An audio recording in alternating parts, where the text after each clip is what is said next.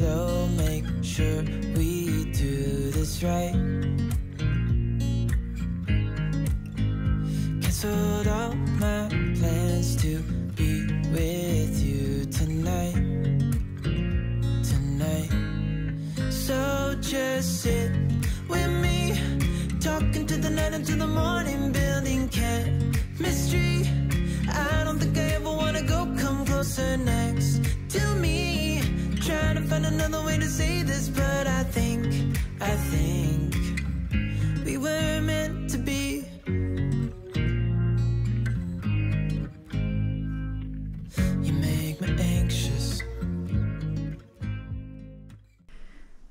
Tak, ahoj všichni, vítejte u nového vlogu. A dneska trošku netradičně jsem se hodila do gala, protože za chvilku uh, odjíždíme s manželem do divadla na hru štěstí, hlavní roli s Luckou Vondráčkovou a Hinkem Čermákem. A docela se těším, protože je to po hrozně dlouhý době. Řekla bych tak možná po třech letech. No, chtěla jsem se vám ukázat zrcadle, ale jak už je venku tma, tak se mi tady odráží světla. Zkusím to. Jde to špatně vidět.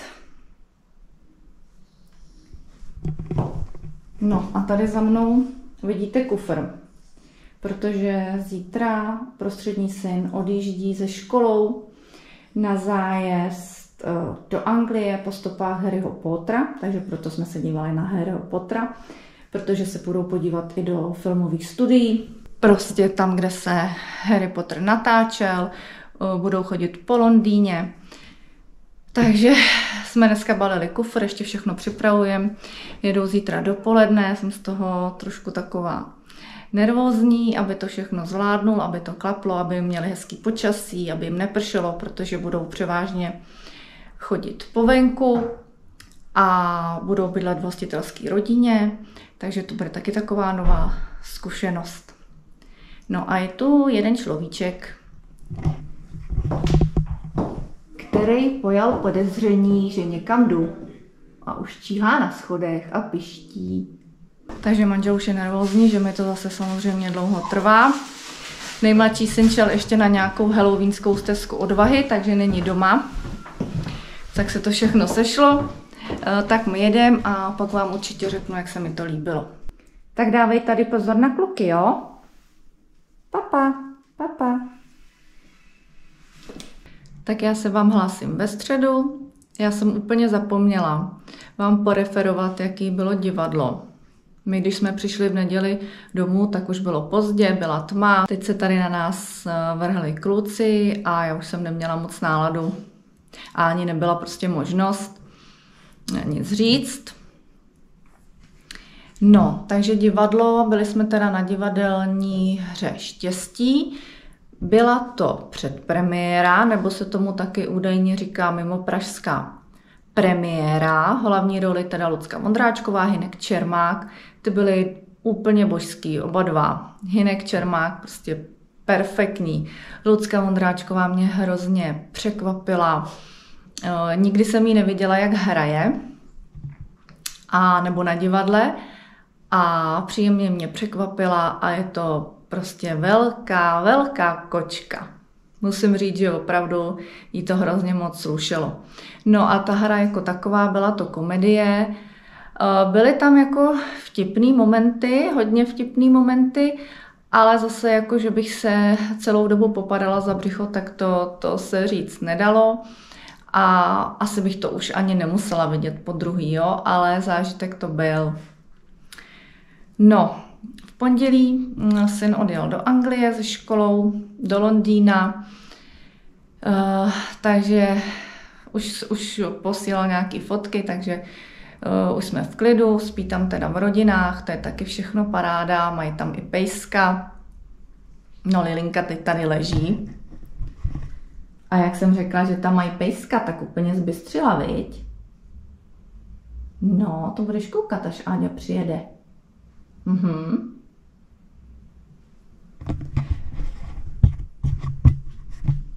To je sranda. No, a co dělám teda? Trošku jsem začala už přemýšlet o Vánocích. Možná jste viděli už poslední video o nákupu vánočních dárků, takže už to mám jako jakž takž v hlavě promyšlený. Moc teda nakoupenýho nemám, ale aspoň trošičku vymyšlený. Pak jsem dělala takový jako revize, co mám doma, jako třeba co se týče už vánoční výzdoby textilu, to si chci teda objednávat. Nový povlečení, nový ubrus, to vám všechno ukážu, až mi to přijde.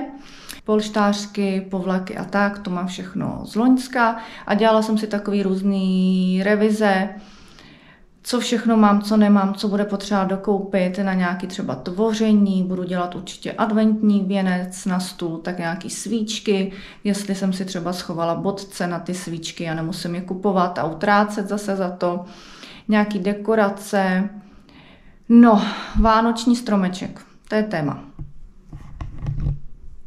Eh, jinak můžete říct, že to řeším ještě celkem předčasně, ale první adventní neděle, už je 27. listopadu, takže to je, to je skoro za dveřma. Jo? No a vánoční stromeček. My máme umělej vánoční stromeček. Asi dvakrát, co tady bydlíme, jsme měli živé jedličku, ale je to prostě z praktických důvodů, z důvodu místa a taky, že topíme v krbu, takže ten živý stromeček, ten by tady trpěl. No a vlastně loni, když jsme začali stromeček zdobit asi dva dny před štědrým dnem, tak jsme zjistili, že prasknul eh, stojan, ve kterým ten stromeček eh, drží. Je to takový plastový stojan. Je fakt, že my ten stromek máme na půdě, je ve veliký krabici a na tu půdu je docela špatný přístup, takže jak to tam manžel vždycky nějak hodí, možná, že jsme to i způsobili my, ale na druhou stranu stromeček máme už asi 8 let. Takže stojan prasknul, manžel to tam nějak jako hodně, hodně provizorně vyspravil. My si dělali legraci, že to je ve stylu Ládi Hrušky, ale, ale jako vydrželo to teda celý Vánoce, ale říkali jsme si, že to musíme nějak eh, prostě pořešit příští rok. Samozřejmě se na to zapomnělo, a teď, jak jsme šli na půdu pro kufr, jak syn odjížděl, tak jsem si všimla ty krabice ze stromečkem. No, takže manžel říkal, že to jako už, už teď dohromady nedá, že to opravit nejde. Naštěstí na té krabici byla ještě adresa internetového obchodu, kde jsme ten stromeček kupovali. Tak jsem se tam podívala a zjistila jsem, že dokonce prodávají i náhradní nebo že dokonce prodávají i samostatný stojany pro umělé stromečky a jsou dokonce i kovový a ne plastový a nestojí žádnou závratnou částku, asi dvě stovky. A garantují to teda jenom pro stromečky, které jsou zakoupený u nich na stránkách. Jo. A mně se právě někdo v komentářích pod jedním videem z loňského roku, asi kde uklízím po Vánocích, nebo nějaký vánoční úklid, kde byl vidět stromeček, ptal, jaký máme stromeček a já jsem nedokázala odpovědět, protože už jsem si to fakt nepamatovala. Ale díky tomu, že jsme našli tu krabici, tak vám to teď můžu říct. Takže tady je bordel, jsme nahoře v patře, Tady mám tu mega krabici, protože stromeček má 220 cm. To jsme ani ne, netušili teda, jo. Já jsem si myslela, že to je 180. A je to teda sibirský smrk 220 cm a stránky jsou umělé, pomlčka, vánoční, pomlčka, stromky CZ. A byla tady napsaná i cena, asi 2035 korun. A co jsem se tam teď dívala, tak stojí asi 2,7, takže to mi nepřijde tak hrozný na to, že je to 8 let. No, tady mám pak uh, ještě tašky, kde mám nějakou tu výzdobu na Vánoce, to všechno jsem kontrolovala, co teda budu muset ještě koupit, co mám, abych zbytečně nevyhazovala penízky. A tady mám teď jeden balíček, který si jdu rozbalit. A je to takový můj pomocník. No, tak schválně, jestli poznáte, co to je.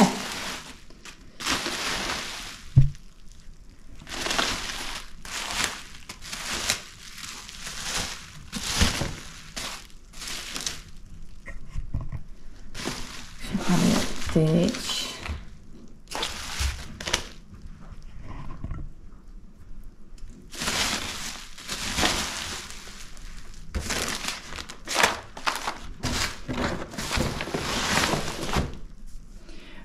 tak je to ten vysavač. Je to ten vysavač na okna. Tak, už jsem to vybalila. Jedná se teda o vysavač na okna Window Cleaner s násadou. Takže tohle je ta násada, vysavač a v tomhle setu byly i dvě hubice. Jedna je taková ta klasická, standardní a pak je tady jedna maličká, co jsem si říkala, že by se mohlo hodit třeba, když jsou na oknech mřížky nebo prostě na menší okna. E, pak v tom setu byl ještě i mop. A já jsem si potom ještě doobjednávala navíc teleskopickou tyč a ta je myslím 75 až 135 cm a to právě bude na střešní okno. Eh, no, vy jste mi psali už někdy na jaře, když jsem dělala jarní úklid a měla jsem okna, eh, že mi doporučujete tenhle vysavač, že to ušetří práci a nemusím pořád stěrku utírat eh, do hadříku. A já jsem se tomu jako docela bránila, protože mi to přišlo celkem zbytečný, nebo mě prostě nevadí mít okna s těrkou, sice mám oken hodně, ale jsou zase celkem malý. A mě spíš vadí to mytí vnitřních chrámů, ale proč jsem o tom uvažovala, tak to je kvůli střešním oknům. A hlavně jedno střešní okno máme tady hnedka eh, nad schodištěm a tam prostě nejde došáhnout. Do téhle doby jsem to tam šudlala takovým mopem na vytírání, který už ani nepoužívám, protože mám tu myčku, ale moc to s tím nešlo. No a pak taky teda rozhodlo, že letos budu mít okna i jinde, než jenom u nás doma. Tak jsem si říkala, že teda ale teď už bych si ho mohla opravdu pořídit. Tohle je to okno nad schodištěm. Líla si tamhle spínka. A tady je teda nádherně vidět ty špinavý nášlapy. Ještě asi pět jich nemám. Ale letos eh, nebudu v rámci vánočního úklidu dělat žádné čištění křesel, židlí, čalounění, eh, ani už ty koberce nedělám, protože budu všechno dělat až po Vánocích a nebudu už to dělat ručně. To vám pak všechno taky ukážu. Tak jenom, abyste se nedivili, proč třeba na vánoční úklid eh, nebudu dělat čištění koberce nebo eh, potahů na židli a tak. Tady si schválně pak nechám, abych mohla udělat před a po s mým novým pomocníkem, kterého mi doufám Ježíšek přinese. Tak já si teď jdu prostudovat návod k tomu vysavači, No, doufám, že to pochopím. A chtěla bych to rovnou teda vyzkoušet v obýváku na francouzských oknech a že bych si rovnou vyprala i záclony. Jdu na to.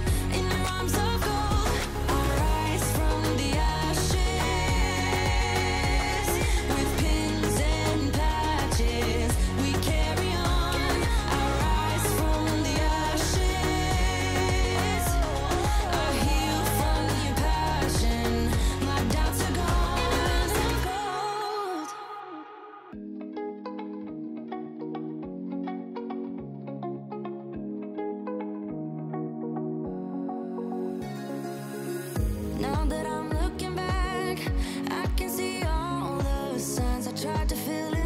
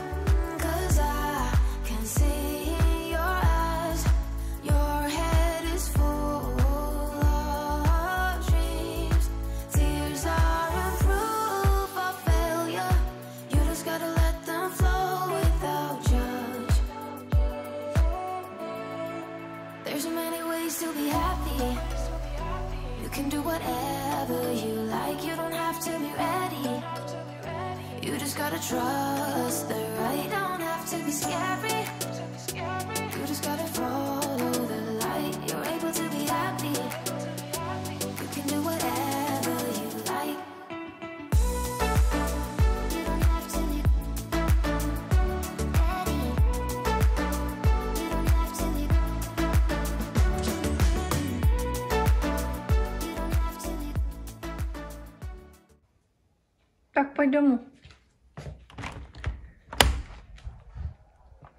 Jdeš domů? Pojď domů, Lili, já něco povím a pak půjdeme na procházku. No. Pojď.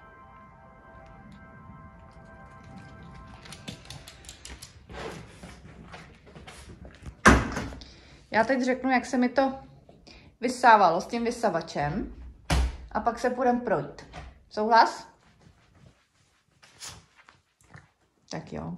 No, takže mám hotovo. Bylo to docela rychlý. Teďko zalezlo sluníčko, takže to asi už nebude vidět. Je tam pár šmouch, musím to ještě vychytat. Teď to tady vypadá jako, že to je úplně čistý. Já nevím, jestli ty okna mají být jako hodně namokřený, jako když stírám stěrkou. To jsem to vždycky měla hodně namokřený. Jakože jsem málo ždímala hadr. A teď nevím. Jinak ten mop, ten mop, úplně skvělý. Já jsem si s tím ještě obešla teďko uh, okna zvenku a vzala jsem s tím sítě v oknech. Parádní věc a ten hadřík je teda úplně černý. A vyplašila jsem pár pavouků. Takže to je taky dobrý. Ještě jsem si s tím stůl otřela, který je obrovský a vždycky jsem musela se tam složitě natahovat, takže tohle bude docela šikovná věcička. Akorát jsem nevěděla, no, při tom stírání nebo při tom umývání těch oken, jestli ten hadřík mám jako vyždímat v ruce a pak ho nasadit, nebo jestli to mám jako namočit i s tou rukojetí a pak to nějak jako vyždímat, protože asi by to okno mělo být trošku, uh, trošku víc mokrý. Když tak mě poraďte. No a vysavač, jako docela, docela dobrý. Já jsem se bála, že bude těžký do ruky, že mi to bude dělat problémy, protože uh, mám někdy problém se zápěstím, ale dobrý. Jako těžký není, je to úplně v pohodě. A ani moc vody tam není z toho jednoho okna. No, ale ještě musím teda vychytat ty šmouhy. Už tam samozřejmě zase jsou nějaký chlupy, chlupy od líly. Ale zatím jsem teda spokojená. Mm, Myslím, že to ocením asi nejvíc, až budu když budu muset těch oken dělat víc najednou, takhle když se dělá jenom jedno okno, tak, tak se to dá s tou stěrkou úplně v pohodě vydržet. Ale co teda jsem nadšená, tak je mop. Teď se mi pere záclona a už tady čeká jeden nedočkavec, co chce jít na procházku.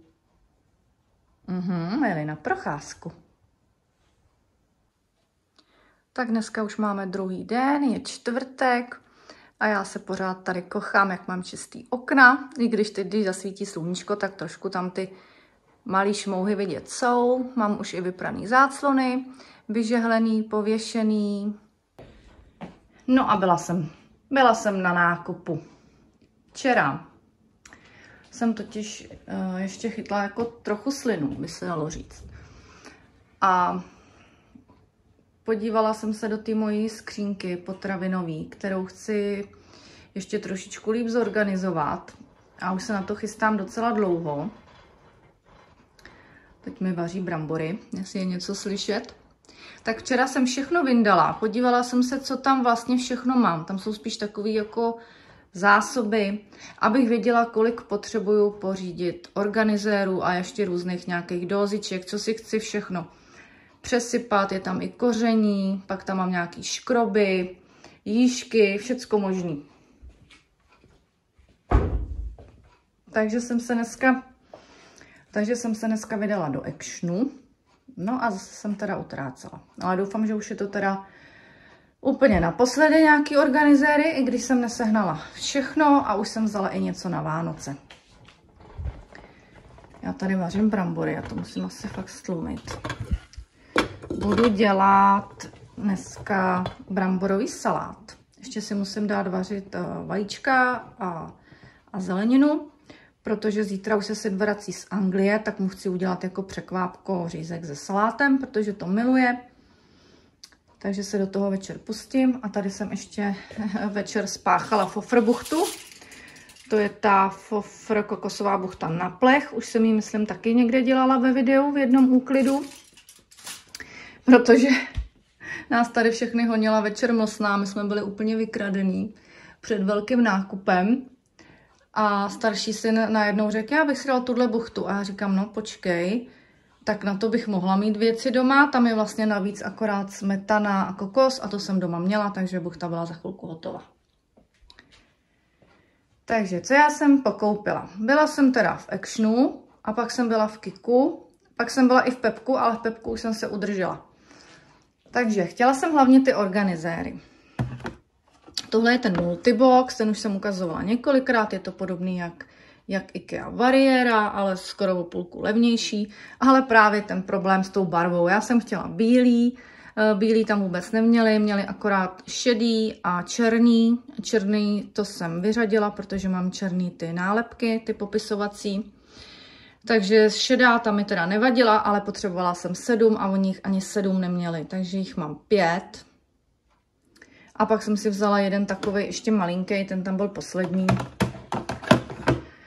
No, takže úplně, úplně jako úspěšná jsem nebyla. Pak jsem si vzala ještě, ještě takovejhle nějaký košík. Jestli si pamatujete, jak jsem třídila linku a mám tam ty uh, různý vykrajovátka vánoční a tak, tak to se mi tam nemohlo vůbec vejít. A ještě jsem si teď jedny v Pepku pořídila za 30 korun. To jsem dělala na ty mm, halloweenský, tam byl ten perníček a tak. Ty jsou takový větší plastový, tak to tam možná dám. No a tady jsem koupila ještě v Kiku skleněné dozičky za 59, mám dvě a tam si plánuju dát do jednoho solamil a do druhého majzenu. To se mi nějak nechtělo do těch plastových dávat. A pak tyhle dvě plastové to budu mít na strouhanku, jednu strouhanku z rohlíků a druhá bude strouhanka z těch cornflakeů, ta kukuřičná, to mají kluci rádi. A ty se mi docela osvědčily tyhle dozy a 59 korun. To mi přijde dobrý.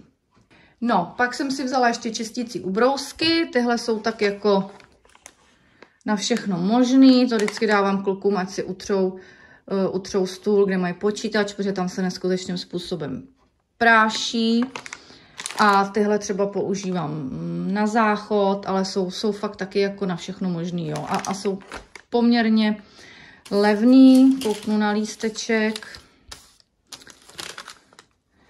Takže, takže, takže, takže. Eh, ty modrý teda 52 korun a ty žlutý 26, 26 korun a jich tam 80. Tyhle jsou trošku dražší. Pak jsem tam vzala tady jedny takový boxerky pánský pro kluky, nebo pro syna, uh, protože mají strašně oblíbený a jsou i za docela dobrou cenu, ty stojí stovku, ty dvě. Akorát teda, když se to pere a pak suší, tak ty barvy docela blednou. Nevím, jestli to dělá ta pračka nebo sušička, řekla bych, že spíš ta sušička. Uh, takže to už jako mám vyzkoušený, že ty barvy fakt vyblednou, ale kluci je mají oblíbený, tak je kupuju. Vzala jsem jedny pendreky, asi taky nějak za 25. Všimla jsem si, že tam je, nevím, jestli to je černá nebo taková hodně tmavě zelená. Tak jsem si hned říkala, že to by mohlo být na toho pavouka, halloweenského pavouka z, ze sušenek Oreo, že ten by se, tenhle pendrek by se určitě suprově hodil. No a pak tam mají vánoční dekorace, jako fakt jsem se musela držet. Mají tam hrozně pěkné věci za pár korun. A já mám zkušenost, že loni jsem furt čekala, čekala a než jsem se jako rozhoupala, tak tam už vůbec nic neměli a ani jako pak už nebylo zboží. Takže jsem si říkala, že letos to prostě koupím hned a nebudu čekat. Takže jsem si vzala tady jednu mašli. měli, myslím, stříbrnou, pak měli bílou, ale ta bílá byla s takovou jako, s takovou jako takovou perletí, to se mi moc úplně nelíbilo, tak jsem si vzala stříbrnou, říkala jsem si, že by možná mohla být na adventní věnec na dveře, ale jestli to není moc velký, pak měli zase už jako hodně maličkou, ale stála asi 38 korun. Pak tam měli korpusy na adventní věnec, asi taky za, já nevím, 34 korun a vypadá jako pěkně, je široký, takže ten jsem si taky vzala rovnou dva. No a pak jsem si pořídila svíčky, krásný, rustikální svíčky. Jedna stála asi 68, nebo oni to tam mají všechno na těch 90, 67, 90, myslím. Tak ty mám jako čtyři na adventní věnec a tu jednu budu ještě dělat takovej jeden věneček eh, na konferenčák v obýváku, teda budu se pokoušet dělat a chtěla bych udělat letos takový trošku jiný věnec, ne právě eh, na ten korpus, ale do takový ty zelený aranžérský hmoty, do toho florexu, že budu píchat větvičky. Takže mm, jsem na to zvědavá, viděla jsem nějaký obrázky, tak to zkusím podle toho nějak spáchat.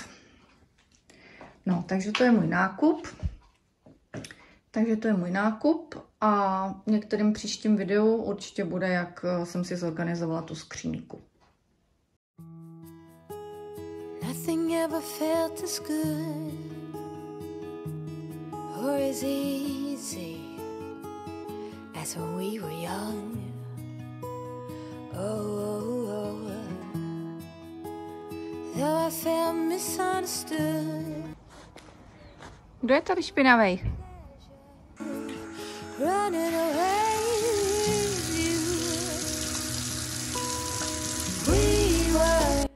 No a takhle vypadá sprcháč v polívince.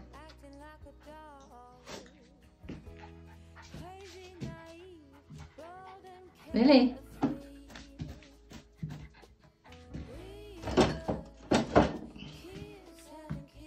Lili, ještě bude fénování. No, ještě se vyfénuješ.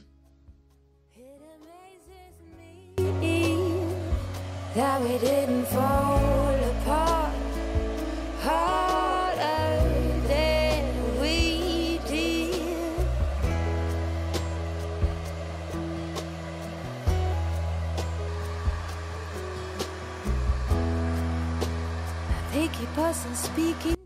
Lili, hotovo. Hotovo. Budeme na dobrodku. Pojď.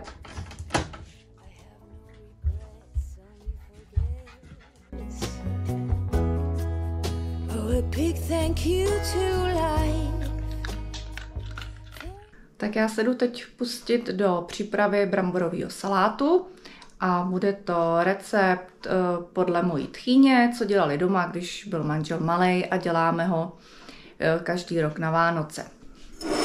Takže tady už mám připravený vařený brambory, vajíčka na tvrdo, celer, mrkev petržel uvařenou, měkký salám, okurku, nájemno nakrájenou cibulku, tu mám zalitou nálevem z okurek a trošku převařenou a potom jogurt, plnotočnou hořčici a majolku.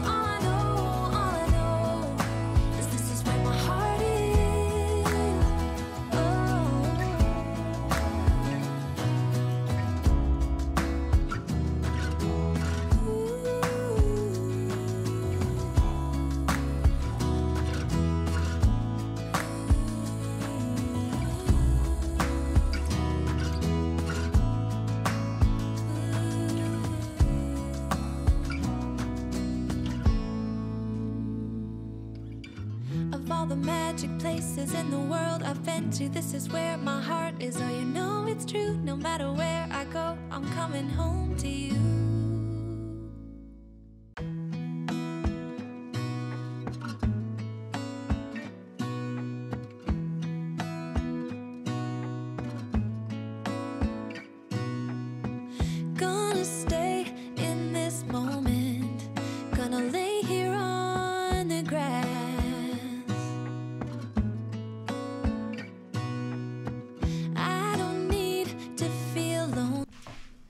Tak pojď ochutnat.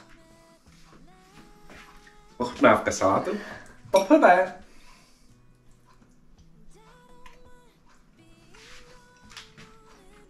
Mm, mm, mm.